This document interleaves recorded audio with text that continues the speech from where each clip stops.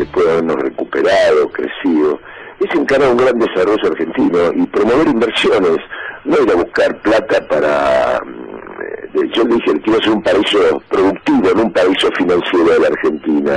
Y cuando Bataki va a, a este lugar ahora, no va a hablar con el fondo, va a hablar fundamentalmente con inversores. Sí, ¿Para que Para que vengan a aprovechar las oportunidades de nuestro país. Y en el caso de, de Juan Manuel, que es un hombre también con una eh, experiencia internacional, Sí, sí. que formó parte de sus ya, bueno, lo ha hecho con su provincia y, y busca siempre colaborar en generar expectativas favorables para Argentina, mientras algunos van y, y quieren sembrar pesimismo sobre el país o nosotros nos ocupamos que vengan a aprovechar inversiones en el sector energético, agroalimentario, turismo, ciencia, tecnología, minería sustentable, forma parte de la gran agenda del desarrollo, que yo le dije el otro día, un compromiso de traer 30 millones de dólares Sí, para darle sustentabilidad a este crecimiento, a esta recuperación. Eso es lo que es trabajo, es seguir eh, industrializando el país, es alcanzar la soberanía energética. Borges decía no hay nada más viejo que un diario de ayer y ya pasó, ya pasó el debate, no creo que la gente según llama aquí a la radio no sirvió para mucho, no aclararon nada, vos dijiste, yo debato desde hace mucho tiempo con la gente todos los días y eso me parece que es lo primordial, escuchar a la gente.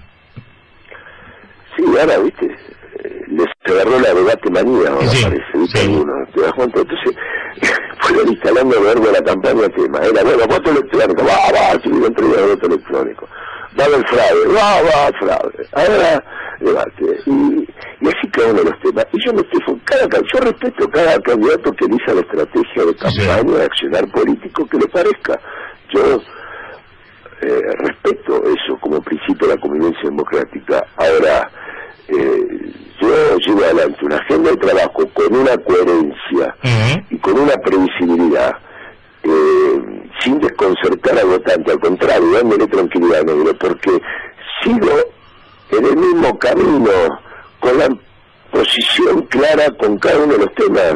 Ah. No, no, no pueden decir lo mismo. Macri, ¿cuál es el que da el debate? ¿El que estuvo en contra del PF y ahora dice que está a favor? ¿El que estuvo en contra de recuperar la administración de los fondos de la ANSES y ahora dice que está Bien. a favor? Escúchame, eh, el que estuvo en contra de la recuperación de AISA como una empresa que agua potable y cloaca, los buitres no son mi prioridad en mi agenda de trabajo. Ujú. Así que claro, no son. Mi prioridad cuidar la vida de la gente. Y Argentina ayer ha demostrado. Dándose los pantalones. En Argentina se. Usted bajarse los pantalones ante los buitres, no.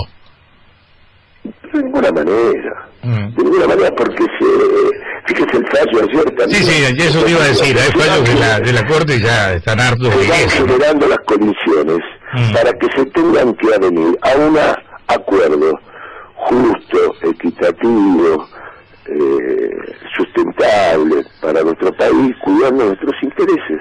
Es mientras tanto, ¿qué es lo que tenemos que buscar? Engrosar el nivel de reservas, seguir desendeudándonos, buscar atraer inversiones, créditos internacionales para grandes obras de infraestructura, esa es la agenda.